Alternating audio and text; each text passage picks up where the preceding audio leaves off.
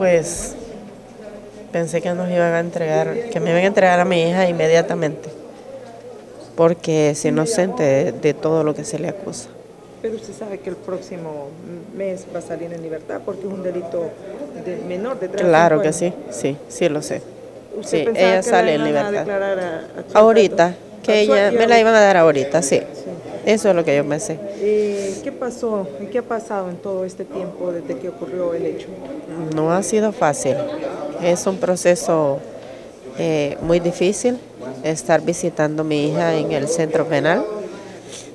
Eh, un lugar donde las personas por lo general dicen, no voy, ¿verdad? Porque uno se imagina tantas cosas, ¿verdad? De ese lugar. Pero la verdad es que en lugares donde están privadas de libertad. Igual hemos tenido muchas ocasiones en las que hemos ido oportunidad de ayudar a otras personas, ¿verdad?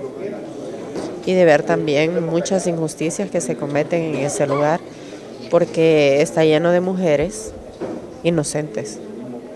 Le podría decir que el 80% de mujeres que hay dentro del centro penal son inocentes y que hay personas que a esta fecha todavía no han tenido la audiencia preliminar. Ahora, ¿qué reflexión también como madre le deja después de haber escuchado al juez cuando decían pues que eran jóvenes pero que se embriagaban y usaban eh, drogas? Sí, claro. El muchacho que falleció tuvo mucho que ver en el problema de los, de los muchachos, de sus amigos, porque él era el origen del problema de nuestros hijos. La verdad es que mi hija antes no tenía ningún tipo de vicios.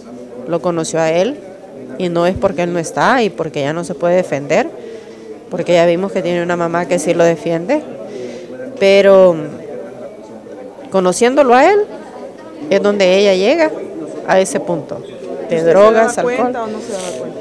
No, no, no me daba cuenta de nada los papás sabemos cuando los hijos salen de nuestras casas, pero la verdad es que no sabemos lo que están haciendo cuando uno no lo ve, ¿verdad?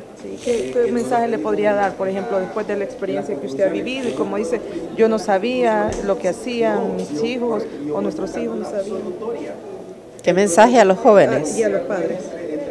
A los padres que estén mucho más pendientes de sus hijos, ¿verdad? Pendientes al 100 150 si se puede. Porque de repente los hijos de uno son buenos hijos, pero no saben con quién se van a encontrar en la calle, qué tipo de personas van a conocer afuera. Porque uno ve las personas, pero realmente no sabe qué tipo de personas son, en qué andan metidos y en qué están involucrados, ¿verdad? Y a los jóvenes, pues que tengan mucho cuidado con el tipo de personas con el que se van a relacionar porque uno ve las caras, pero realmente uno no sabe en lo que ellos andan.